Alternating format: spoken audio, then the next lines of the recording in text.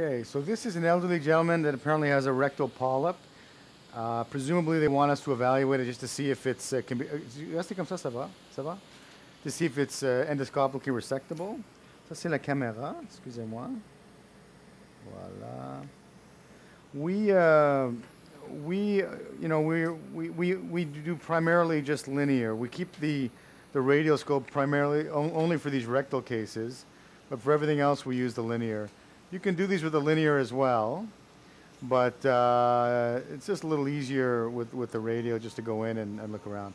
So you can see the polyp uh, endoscopically right here, which looks a little strange. Yeah? It's a little bit uh, uh aggressive looking. And what's going on up there? Yeah, so I'm just going to try and go a little bit beyond it. Si c'est trop sensible, just to me okay? So we just give our patients uh, uh, fleet enema, and that's it. Okay, a couple fleets, and that's it. No sedation. You, you, you can give them sedation if you want, but we find that it's generally not necessary. So we've gone above it here. That looks good. So you just want to stay in the center.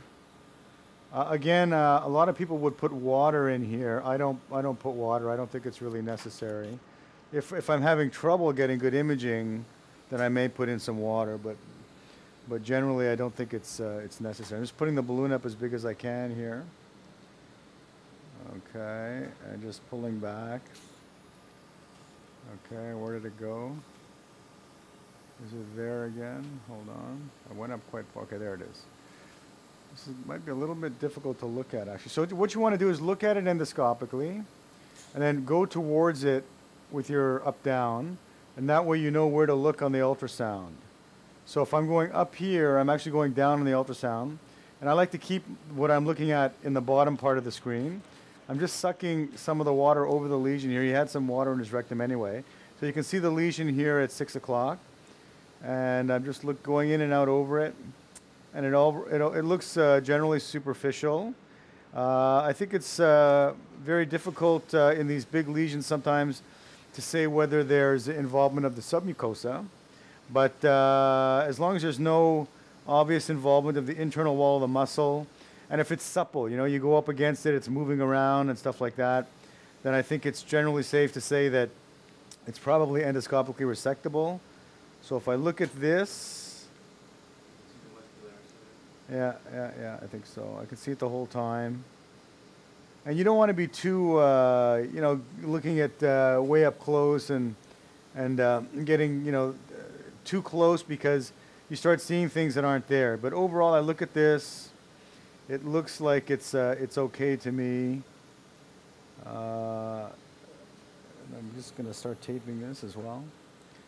So I don't. I'm just going to zoom in a little bit as well, also. Why did that do that? Okay. So just coming back in and out over it, looking again here, I can see the, um, the in internal wall of the muscularis here, so just focus on that. And you don't want to compress anything. So overall, I think this looks okay. You know, it's a little lumpy bumpy here, but still, I wouldn't, I wouldn't be too concerned about that. And the bottom line is, in a sense, you know, you, you don't really need EUS for this. The, the ultimate test is going to be, is, is going to be whether it lifts or not when you try and do the polypectomy. So if you have any doubts, uh, I, you know, if it's not an obvious T2, then I'll tell them just to try and do it.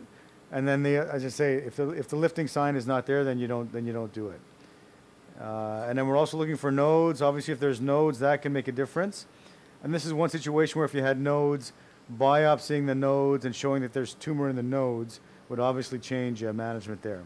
So I think this looks like a superficial lesion and I think they can try and do either an endoscopic or an endoanal excision. And that's it.